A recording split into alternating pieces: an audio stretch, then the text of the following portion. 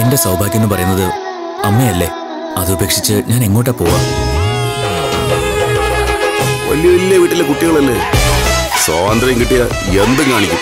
നമ്മുടെ ഇഷയെ പറ്റി നിങ്ങൾ എന്താ വിചാരിച്ചു വെച്ചിരിക്കുന്നത് അവൾ ഏതായിട്ടത്തിന് പോയാലും ആരങ്ങ് തകർക്കും.